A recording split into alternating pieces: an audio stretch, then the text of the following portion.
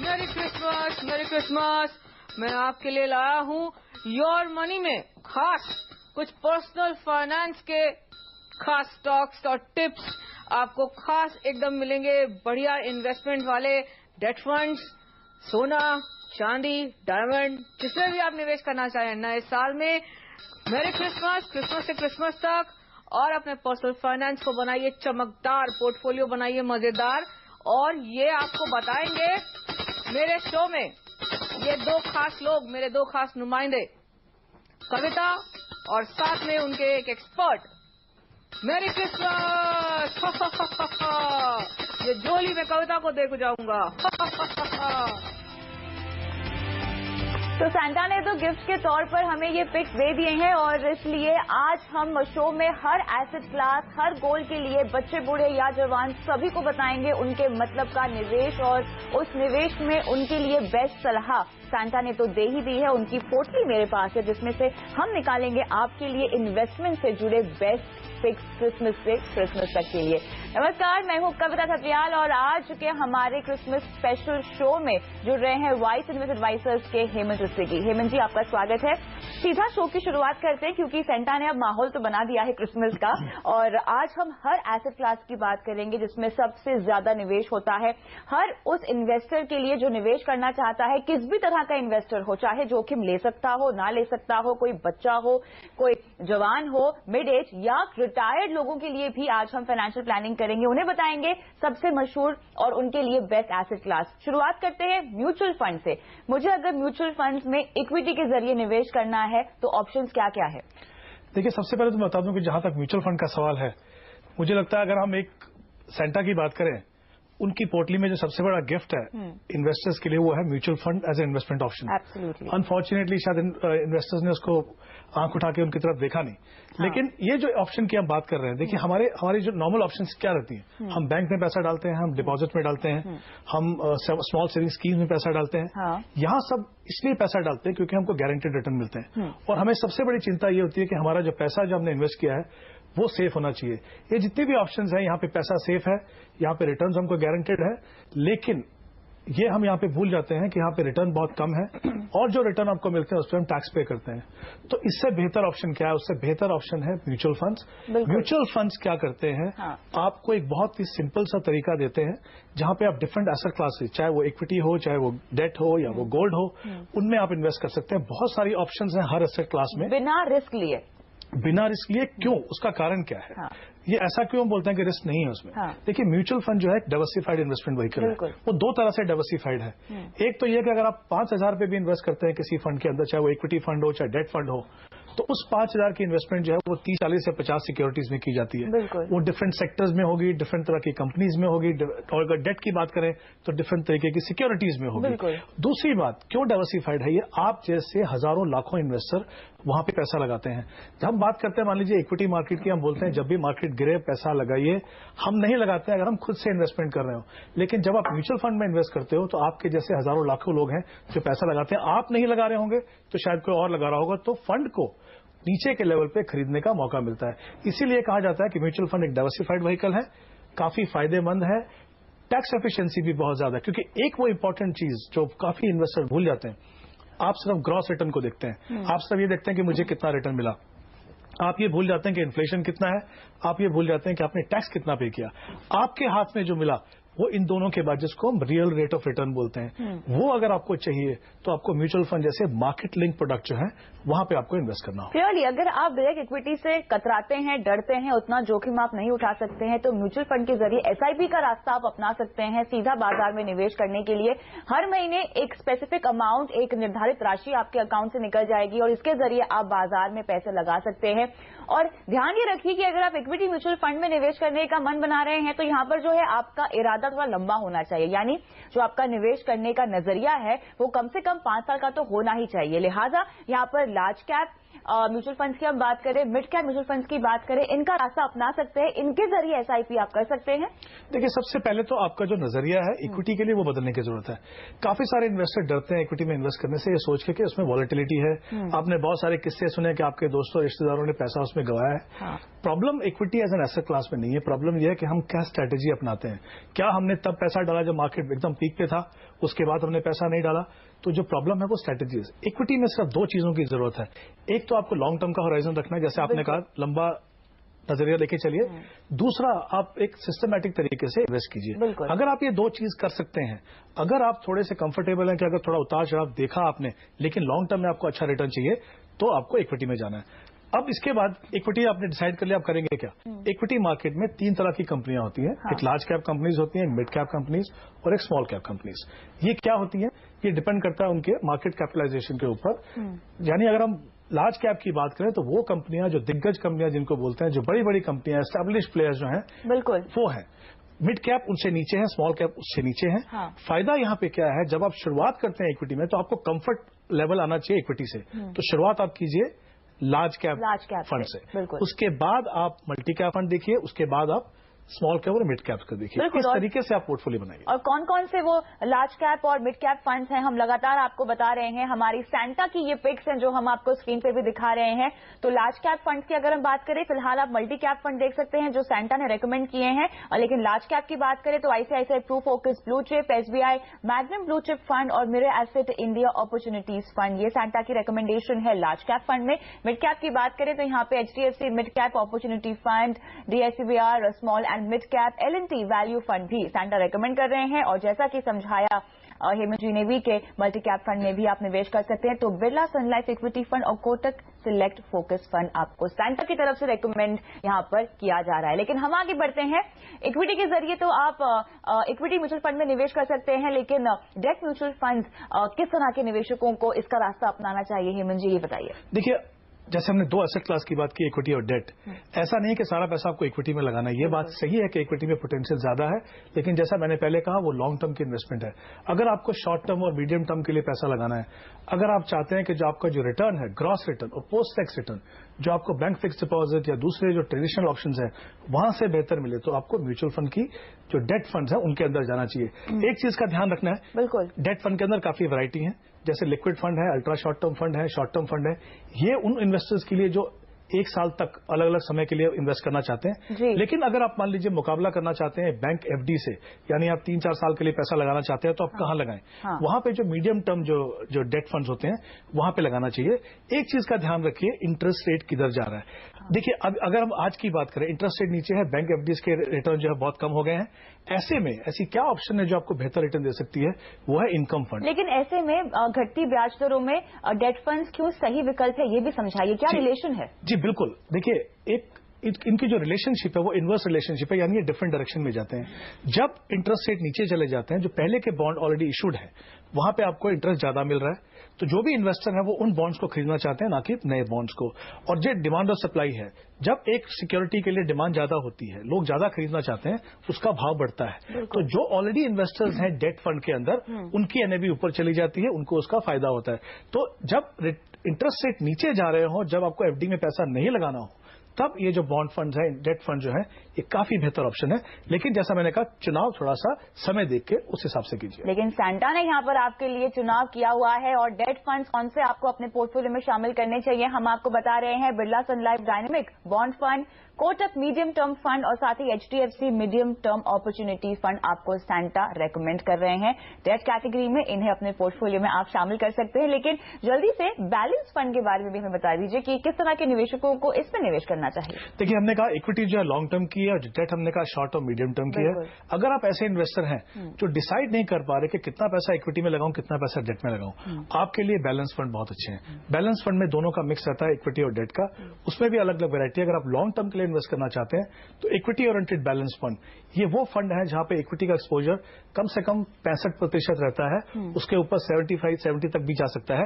यहाँ पे आपको फ़ायदा क्या है कि जो आपका जो डिविडेंड मिलता है वो टैक्स फ्री है। जो लॉन्ग टर्म कैपिटल गेन एक साल के बाद वो टैक्स फ्री है। हम्म। लेकिन यहाँ भी आपको उन फंड्स का चुनाव करना है जो फंड्स कंसिस्टेंटली परफॉर्म कर रहे हैं, जो आपके रिस्क प्रोफ़ाइल से मैच कर रहे हैं। चलिए और यहाँ पर सेंटा की पिक्स आपको बता देते हैं H D F C prudence fund Kotak balance fund ICICI Pru balance fund तो बैलेंस फंड कैटेगरी में ये है सेंटा की रिकमेंडेशन हम आगे बढ़ते हैं। म्यूचुअल फंड का तो हमने यहाँ पर डिस्कशन कर ही लिया है, लेकिन स्मॉल सेविंग स्कीम जो कि ट्रेडिशनली हम सबकी काफ़ी फेवरेट रही है, यहाँ पर हम रिस्क नहीं उठा सकते और हमें एक फिक्स परसेंटेज ऑफ़ इंटरेस्ट चाहिए। इसलिए हम स्मॉल सेविंग स्कीम्स में निवेश करते हैं, लेकिन हम देख रहे हैं कि अब इसमें भी ब्याज दरें घटेंगी।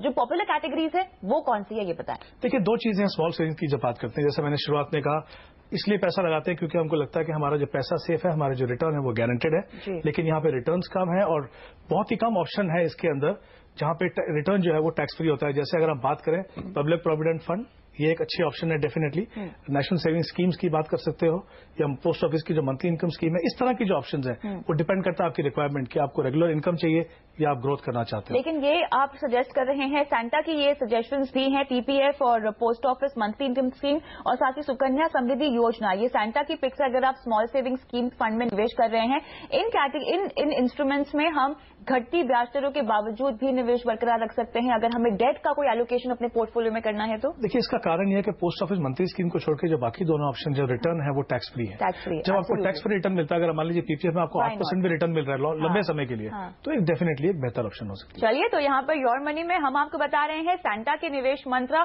और यहाँ पर हमने दो कैटेगरीज में अब तक बात कर ली है म्यूचुअल फंड और स्मॉल सेविंग स्कीम पर। रुकते एक ब्रेक के लिए। ब्रेक के बाद बताएँगे कि सीनियर सिटीजन के लिए निवेश के मंत्र कौन से दिए हैं सेंटा ने और साथ ही सैंटा आपके रिटायरमेंट का भी ख्याल यहाँ पे रखना चाहता है। क्या कह रहा है सैंटा रिटायरमेंट के बारे में?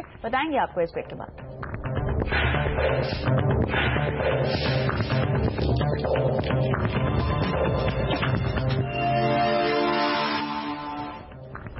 प्योर मनी क्रिसमस स्पेशल में आपका स्वागत है और आज के इस खास शो में मेरे साथ शामिल है हेमंत उस्ती हम आपको बता रहे हैं कि आप कहाँ पर कर सकते हैं निवेश अपने रिस्क को ध्यान में रखते हुए, अपने गोल को ध्यान में रखते हुए टाइम ड्यूरेशन को ध्यान में रखते हुए, और साथ ही सैंटा आपको क्या रेकमेंड कर रहा है, इस पर भी हमारा फोकस है। लेकिन चलिए, आगे बढ़ते हैं। अगली कैटेगरी है सीनियर सिटीजन के निवेश की। यहाँ पर मुझे बताइए कौन कौन से निवेश विकल्प है जहाँ पर बिना रिस्क उठाए सीनियर सिटीजन अपनी पूरी जीवन भर की कमाई को निवेश कर सकते हैं? तो सबसे बड़ा चैलेंज है सीनियर सिटीजन के लिए रिटायरमेंट के बाद ये होता है कि आप रेगुलर इनकम कैसे जनरेट करें। अनफॉर्चुनेटली बहुत कम ऑप्शन है जहाँ पे आपको रेगुलरली hmm. और डेफिनेट तरीके से आपको रिटर्न मिल सके। या तो वो रिटर्न कम है या वो टैक्स एफिशिएंट नहीं है तो उन दोनों का कॉम्बिनेशन करके आपको hmm. यहाँ पे इन्वेस्ट करना पड़ेगा। अगर हम बात करें सीनियर सिटीजन की तो सबसे बेहतर ऑप्शन होगी उनके लिए senior citizen scheme saving scheme जिनको आप बोलते हैं। वहाँ पे आपको फिक्स रिटर्न मिलता है क्वार्टरली उसके बाद पोस्ट ऑफ़िस की मंथली इनकम स्कीम की हमने बात की। वहाँ पर भी इन्वेस्ट किया जा सकता है। क्योंकि ये दोनों के दोनों ऑप्शन जैसा मैंने कहा यहाँ पे रिटर्न गारंटेड है लेकिन रिटर्न टैक्सेबल है और ज़्यादा रिटर्न नहीं है तो कुछ हिस्सा मुझे लगता है म्यूचुअल फंड में जाना चाहिए okay. ताकि आप थोड़ा सा रिस्क लेके अपने ओवरऑल रिटर्न को बढ़ा सकें इनकम भी ले सकें और थोड़ा ग्रोथ भी कर सकें क्योंकि ये जो पहली दो ऑप्शन है यहाँ पे सिर्फ़ आपको रेगुलर इनकम मिलती है hmm. आपको ग्रोथ का कोई भी यहाँ पे स्कोप नहीं है तो अगर आप चाहते हैं कि आपको रिटर्न जो है वो टैक्स एफिशिएंट मिले रेगुलरली मिले और आपको कैपिटल अप्रिसिएशन मिले तो आपको इन तीनों का कॉम्बिनेशन लेना पड़ेगा। तो इस कैटेगरी में सेंटा की रिकमेंडेशन है senior citizen saving scheme post office MIS Kotak equity saving scheme और ICICI prudence balance advance fund Santa आपको रेकमेंड कर रहा है अगर आप सीनियर सिटीजन कैटेगरी में निवेश करना चाहते हैं। तो आगे बढ़ते हैं बात करते हैं सोने की जो हर भारतीय के दिल के काफ़ी करीब है लेकिन यहाँ पर पेपर गोल्ड में निवेश करने की सलाह आपको दे रहे हैं ईटीएफ गोल्ड फंड या गोल्ड बॉन्ड कौन सा बेहतर होगा? देखिए तीनों के तीनों के अपने एडवांटेज और डिसएडवांटेजेस हो सकते हैं क्योंकि जैसा आपने बिल्कुल सही कहा अगर आपको गोल्ड में निवेश करना है हम्म। तो paper gold definitely better option है। उसके सामने अगर आप ज्वेलरी लेते हैं या गोल्ड लेते हैं उसमें बहुत सारे इश्यूज़ हैं। आपके पास प्योरिटी का इशू रहता है उसमें मेकिंग चार्जेस हैं हम्म। उसमें बहुत सारे इश्यूज़ हैं। पेपर गोल्ड को रखना बहुत आसान है। ईटीएफ e जो है ईटीएफ हम्म। का मतलब है जैसे आप एक शेयर खरीदते हैं उस हिसाब से आपको एक डीमेट अकाउंट चाहिए। जैसे आप शेयर खरीदते हैं वैसे आप ईटीएफ e खरीद सकते हैं। एक यूनिट जो है उसका भाव जो है वो एक ग्राम गोल्ड के सामने होता है। अगर आप डीमैट अकाउंट नहीं रखते हैं हम्म। अगर आप फेमिलियर नहीं है कि स्टॉक मार्केट में कैसे इन्वेस्ट किया जाता है तो आपके लिए ऑप्शन है गोल्ड सेविंग्स फंड ये फंड ऑफ़ फंड है जो जैसे अगर मान लीजिए एक फंड के सेविंग फंड में आप डालते हैं गोल्ड सेविंग फंड में वो फंड जो पैसा वहाँ पे कलेक्ट करते हैं उसी फंड के गोल्ड ईटीएफ में डालते हैं। इनडायरेक्टली गोल्ड फंड जो है वो गोल्ड ईटीएफ में पैसा लगाते हैं। इसलिए उसको फंड ऑफ़ फंड कहा जाता okay. है तीसरा जो एक ऑप्शन है सॉवरन गोल्ड जो काफ़ी लेटेस्ट है। जी मुझे लगता है बिल्कुल लेटेस्ट है और काफ़ी बेहतर ऑप्शन है। गोल्ड के साथ सबसे बड़ी प्रॉब्लम क्या है? इसमें सिर्फ़ एप्रिसिएशन या डेप्रिसिएशन होता है जो भी वैल्यू में होता है ये आपको कोई रेगुलर इनकम नहीं देता है। ये जो सॉवरन गोल्ड फंड जो बॉन्ड की बात कर रहे हैं यहाँ पे ढाई परसेंट का गारंटीड आपको रिटर्न मिलेगा। साथ में गोल्ड का जो भी भाव होगा वहाँ पर जो कैपिटल गेन अगर आपको होता है आठ साल के बॉन्ड होते हैं पाँच साल के बाद आप वहाँ से निकल सकते हैं। लेकिन उसमें सिर्फ़ एक ही इशू है कि ये समय समय पे अवेलेबल नहीं होता है। जब जब खुलेगा तभी होगा। तभी होगा। लेकिन अब मेरा आई थिंक मुझे जो इन्फॉर्मेशन है उससे ये है कि सरकार सोच रही है कि इसको कैसे पूरे साल तक इसको अवेलेबल किया जाए। अगर ऐसा होता है एट्रैक्टिव बनाने की भी ज़रूरत है। तो मुझे लगता है गोल्ड बॉन्ड जो है वो काफ़ी अच्छी तो गोल्ड बॉन्ड आपके लिए एक ऑप्शन है लेकिन साथ ही रिलायंस गोल्ड सेविंग्स फंड और एसबीआई गोल्ड ईटीएफ भी यहाँ पे सैंटा की तरफ़ से आपको रेकमेंड किया जा रहा है। रुकते एक ब्रेक के लिए लेकिन ब्रेक के बाद यहाँ पे करेंगे आपके रिटायरमेंट की प्लानिंग और साथ ही आपको बताएँगे सैंटा के मुताबिक कौन से एसेट या कौन से इन्वेस्टमेंट इंस्ट्रूमेंट में आपको निवेश करना चाहिए एटीसी के तहत। बने रहे Thank you. आप देख रहे हैं योर मनी का क्रिसमस स्पेशल और आज हम आपको बता रहे हैं सैंटा की रिकमेंडेशन आपके निवेश को लेकर। आगे बढ़ते हैं और अब आते हैं आपके रिटायरमेंट पर। रिटायरमेंट एक ऐसा गोल है जो आप निवेश की शुरुआत जब करते हैं, सबसे पहला लक्ष्य होता है रिटायरमेंट का जो आपको फिक्स कर देना चाहिए। और सैंटा के मुताबिक कई सारी एसेट क्लास है जहाँ पर आपको निवेश भी करना चाहिए। लेकिन रिटायरमेंट के लिए अगर हम देखें ट्रेडिशनली हेमंत जी पीपीएफ लोग ज़्यादा प्रेफर करते हैं। देखिए रिटायरमेंट प्लानिंग जैसा आपने कहा, बहुत इंपॉर्टेंट गोल है। अनफॉर्चुनेटली बहुत कम लोग ऐसे हैं जो उस पर सही तरीके से ध्यान देते हैं। दो तीन इश्यूज़ हैं यहाँ पे। कुछ लोग ऐसे हैं जो सोचते हैं कि जो हमारा पैसा इम्प्लाइज प्रोविडेंट फंड में जा रहा है या हमने जो हाँ। थोड़ा पैसा पीपीएफ में लगाया है और जो ग्रेचुटी मिलेगा लगता है हमारा बहुत कुछ हो गया उसमें। हाँ।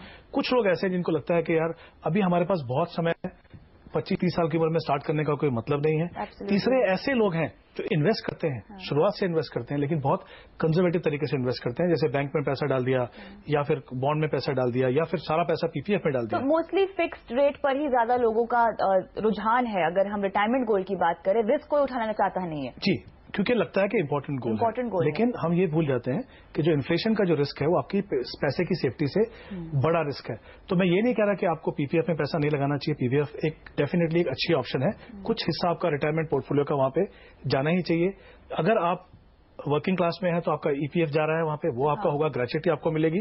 उसके अलावा क्योंकि आप लॉन्ग टर्म के गोल में ये जो गोल है इसका टारगेट बड़ा होता है इक्विटी आपके पोर्टफोलियो में होनी ही चाहिए। इसीलिए क्या आप एनपीएस रेकमेंड करेंगे यहाँ पर। एनपीएस डेफिनेटली एक एक एक बेहतर ऑप्शन हो सकती है। म्यूचुअल फंड के अलावा मैं कह रही हूँ। हाँ लेकिन एक अच्छी ऑप्शन है। मैं ये नहीं कहूँगा कि बेस्ट ऑप्शन है। क्योंकि उसमें थोड़ी सी प्रॉब्लम ये है कि जो टैक्सेशन अभी भी जो है मेच्योरिटी के टाइम पे एक तो कंपलसरी एन्यूटी आपको फोर्टी परसेंट लेनी पड़ती है ट्वेंटी परसेंट पे आपको टैक्स लगता है फ्लेक्सिबिलिटी हम्म। कम है लेकिन इन्वेस्टमेंट करने के टाइम पचास हज़ार रुपए की आपको एक्स्ट्रा छूट मिलती है। तो वो वहाँ पे ले उसके लिए आप एनपीएस ले सकते हैं और बाकी के लिए जो इक्विटी म्यूचुअल फंड्स हैं या जो पेंशन फंड्स हैं हम्म। उस तरह के ऑप्शन देखें मिक्स करें। हम्म। मैं ये नहीं कह रहा कि पीपीएफ को मत रखें वो रखिए लेकिन ज़्यादा हिस्सा जो है डिपेंड करता है आप किस एज पे स्टार्ट कर रहे हैं। अगर आप यंग हैं आपके पास 20-25 साल का समय है। तो डेफिनेटली इक्विटी में आपके पास ज़्यादा होना चाहिए। एनपीएस में एक इश्यू और है कि आपको मैक्सिमम जो है वो 75 परसेंट तक इक्विटी में आप जा सकते हैं।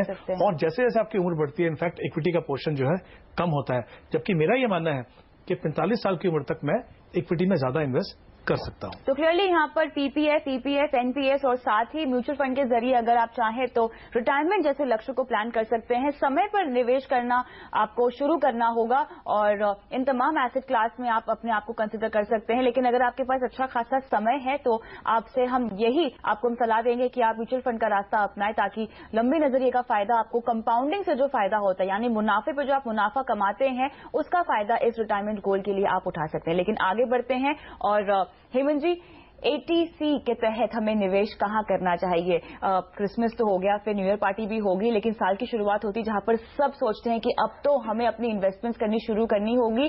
थर्टी फ़र्स्ट मार्च के लिए तैयारी शुरू करनी होगी। ऐसे में हम चाहते हैं कि सेंटा भी इनफैक्ट यही चाहता है कि जो व्यूअर्स हैं वो अभी से प्लानिंग शुरू कर दे। कहाँ कहाँ निवेश करें? पॉपुलर इन्वेस्टमेंट इंस्ट्रूमेंट्स एटीसी के तहत कौन कौन सी है? देखिए दो तीन चीज़ों का ध्यान रखना एटीसी के अंदर कि वहाँ पे आपको डेढ़ लाख रुपए की छूट मिलती है हाँ। उसमें से कुछ आपकी कमिटमेंट ऐसी है जो आपको इन्वेस्ट करना ही है या पे करना ही ही है।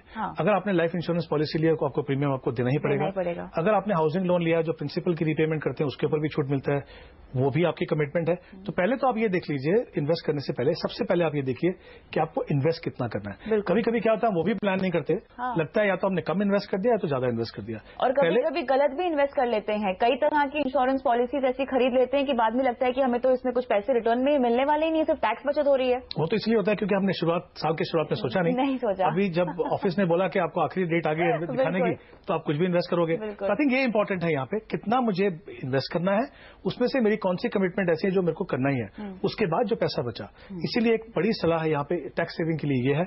उसको अपनी ओवरऑल प्लान का हिस्सा बनाइए जैसे आपने कहा बिल्कुल सही कहा जब हम उसको ओवरऑल प्लान का हिस्सा नहीं बनाते हैं हाँ। तो हम उसको हम अलग तरीके से देखते हैं और जहाँ भी जो सामने आता है हम्म। वहाँ पैसा डालते हैं अगर आप उसको अपना हिस्सा बनाएँगे तो आप देखेंगे कि एक कमिटमेंट के बाद जो पैसा बचता है वो अगर आप डिपेंडिंग ऑन आप किस एज में है कितनी इनकम है क्या रिस्क प्रोफ़ाइल है ईएलएसएस जो होती है इक्विटी सेविंग स्कीम जो है म्यूचुअल फंड की वो एक काफ़ी बेहतर ऑप्शन है हम्म। उसको डेफिनेटली मुझे लगता है उस कैटेगरी को देखना चाहिए ताकि आप लॉन्ग टर्म के लिए भी इन्वेस्ट करो हम्म। और उसके फ़ायदे और ये है कि उनका जो लॉक इन पीरियड है वो तीन साल का है हम्म। और ज़्यादातर जो ऑप्शन है एटीसी के अंदर उसके मुकाबले में उनका जो लॉक इन है वो कम है और जो रिटर्न है वो पूरी तरह से टैक्स फ्री टैक्स फ्री है। तो यहाँ पर रिकमेंडेशन सैंटा की आपको बता देते हैं? Reliance tax saver Franklin tax shield और कोटक टैक्स सेवर आपको ईएलएसएस में एटीसी के तहत निवेश करने की सलाह सैंटा दे रहा है। और ये है वो तमाम ईएलएसएस फंड जहाँ पर आप निवेश कर सकते हैं। बहुत बहुत शुक्रिया हेमंत जी आज इस खास पेशकश में हमारे साथ शामिल होने के लिए।